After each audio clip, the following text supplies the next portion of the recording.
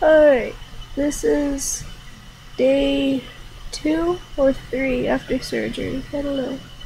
But I had part of my brain tumor removed and the, the hemorrhaging of the, blood was taken out, but some of the tumor was left. Um, they went through my septum and they went up there and took some bone from deep inside and they put it where the I had a hole in my skull. And the surgery went well. Um, I'm swollen. And my nose is stuffy because I have like basically tampons up my nose. And I get my catheter out tomorrow. And I'm in ICU right now. But I'm sleepy.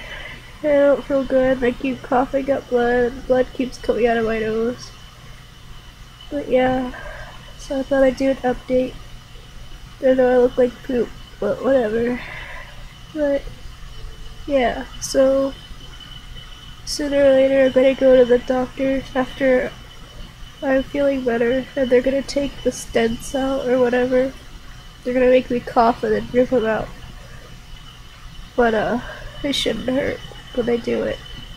And there's no sign of diabetes, insipidus, or a brain bleed, which is good. So everything went well.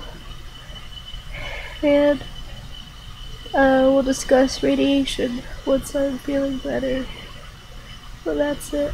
Unless I can think of anything else. I get to go on the floor tomorrow, so I won't be in ICU anymore. And once I get my pain under control, I can go home.